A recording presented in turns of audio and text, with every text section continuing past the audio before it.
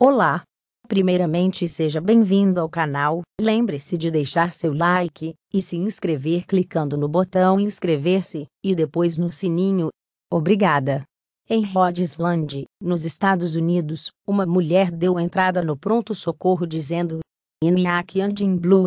Traduzindo, a frase poderia querer dizer estou fraca e triste, pois a palavra blue, em inglês, também quer dizer que a pessoa está se sentindo triste ou cabisbaixa. Entretanto, para essa paciente, a palavra era literal, e ela realmente estava ficando azul. Contando seu caso para os médicos, ela disse que tomou um analgésico para dor nos dentes, é, quando acordou no dia seguinte, se sentia muito doente e acabou indo direto para a sala de emergência. A paciente realmente tinha adquirido um tom azulado na sua pele, por conta de uma condição rara e às vezes fatal, chamada metemoglobinemia. Fonte New England Journal of Medicine barra reprodução. Sua pele e unhas estavam azuladas, o que indicava que ela estava ficando cianótica, quando o corpo não recebe oxigênio suficiente.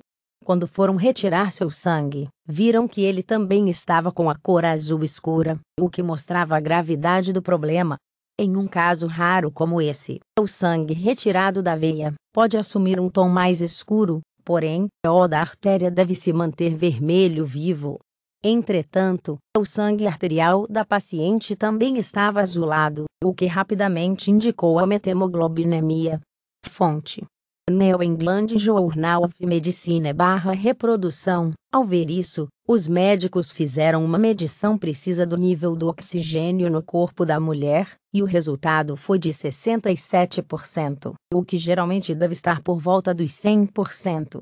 Neste nível, os tecidos podem sofrer danos pela falta do oxigênio. No caso desta paciente, ela tomou um analgésico de venda livre, que continha benzocaína, por conta da dor. Ela contou que não tomou toda a quantidade do remédio, porém, com o resultado visível e azul, foi claro que tomou mais do que o que era indicado. A metemoglobinemia acontece quando o ferro contido no sangue da pessoa muda de forma e não consegue mais transportar oxigênio pelo sangue. Sendo assim, mesmo a pessoa não tendo dificuldade para respirar, o corpo sente como se estivesse sufocando aos poucos.